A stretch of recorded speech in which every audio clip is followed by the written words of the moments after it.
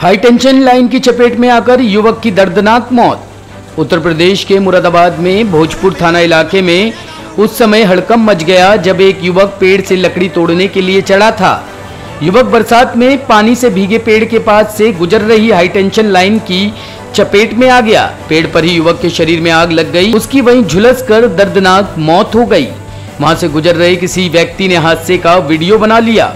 जिसमें पूरा हादसा रिकॉर्ड हो गया। सूचना मिलने पर विद्युत विभाग के साथ ही आसपास के ग्रामीणों ने जेसीबी मशीन की मदद से युवक का शव नीचे उतारा।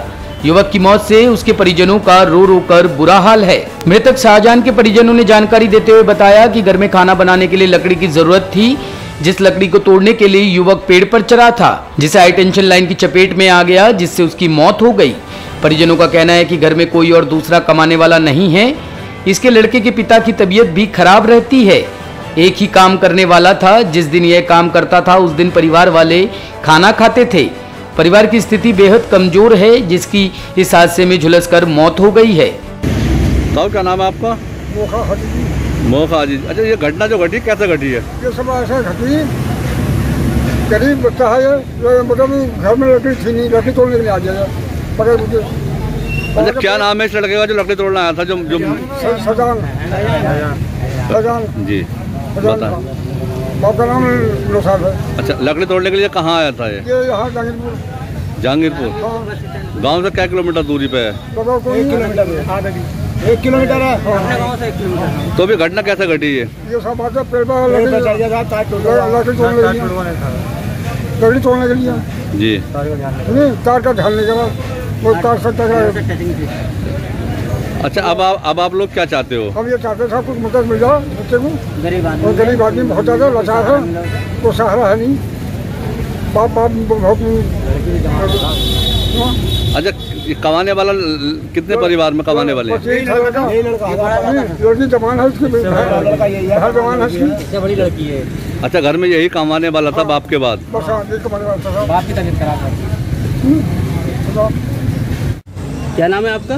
मेरा नाम मुनव्वर अली साहब। ये जो घटना घटी है कैसे घटी है? ये साहब लकड़ी उकड़ी लेने के लिए घर से चला आया जलाने के लिए इसकी माँ ने भेज दिया क्या हुआ नाम था? इसका नाम था फैजान। जी। अब तब पेड़ से तार वो टच हो गया होगा बारिश हुई है।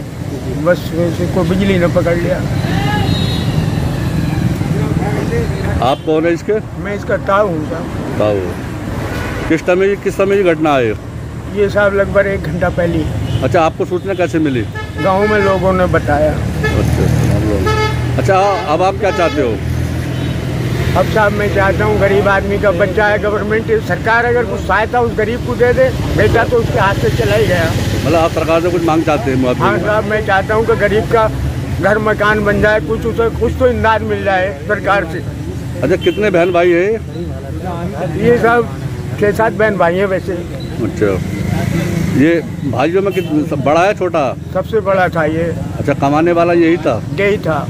अच्छा और बहनें हैं बाकी छोटी? बहनें हैं। बाप क्या करते हैं इसके? बाप मजदूरी करता। है तो ये जो लड़का खत्म हुआ है ये कौन था आपका? लड़का है मेरा। क्या नाम था इसका? इसका नाम फैजान ये घटना कैसे घटी? ये मतलब घास को आया था पता नहीं मतलब ये लकड़ी से अचानक तोड़ने चला फिर क्या हुआ? ये तो मालूम नहीं था साहब मैं तो हाथ पैर ही बच्चों को मेहनत मजदूरी करके खिला दिया हाथ में अच्छा आपके जो परिवार में बड़, बड़ा बेटा यही था या छोटा है? सब सब में बड़ा यही था इससे बड़ी लड़की है वो। अच्छा कमाने के मतलब थोड़ा सारा यही था आपके पास? हाँ मेहनत मजदूरी। करना खाना कुछ नहीं है और मेरे पास। अच्छा आप क्या चाहते हो अब? अब एक लड़की जवान है घर पर सोच लो क्या करना है मतलब क्या नहीं करना। जी अब आप क्या चाहते हो? सरकार की तरफ़ से सरकार की तरफ़ से मदद मिल जाए तो अच्छी बात है सब में गरीब आदमी लड़की है तीन अब चार लड़के रह गई घर में एक खाने कमाने वाला हाँ। खाने कमाने वाला तो कोई था ही नहीं सब ये यही थोड़ा होशियार हुआ था और थोड़ा ये सब मामला खराब हो गया।